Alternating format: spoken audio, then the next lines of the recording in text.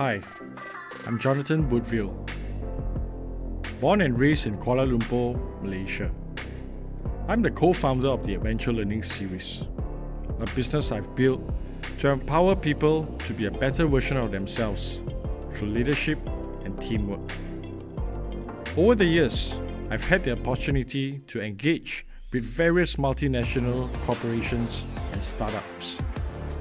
I managed to accomplish this with a dedicated team that is committed and passionate in their work. And we all report to only one boss. Yes, Emilie. She's about to turn one soon. I start my day with a cup of coffee while listening to personal development podcasts. I enjoy creating videos to share my knowledge and experience with others.